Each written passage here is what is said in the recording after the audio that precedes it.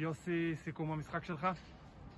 אה, משחק מאוד מוזר, כי מצד אחד אה, ספגנו דקה ראשונה, אחרי זה חזרנו בצורה יוצאת מהכלל למשחק, מהלכי כדורגל יפים, שני שערים יפים, עם אה, עוד מספר מצבים מדהימים לעשות שלוש וארבע אחד, אבל היו לנו כמה החמצות באמת גדולות. ומצד שני, עוד פעם, בהתקפה אחת של המחצית השנייה, אה, ספגנו את ה-2-2, עוד שנייה גם היינו מפסידים בסוף, אה, בדקה ה-90.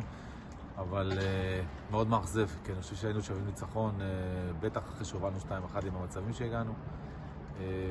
זהו, עוד פעם, אנחנו ממשיכים קדימה.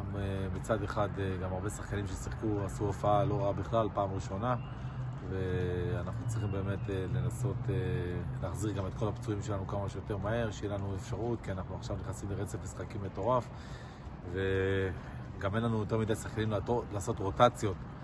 זה שני שחקנים, זה אומר שמי שמשחק יצטרך לשחק כל שלושה ימים, כולל באירופה, וזה מאוד מאוד קשה. אבל uh, עוד פעם, לפחות היה פה כמה מהלכי כדורגל יפים היום, והיה כמה באמת דברים יפים שעשינו עם שחקנים צעירים, וזה קצת מעודד. תודה. תודה.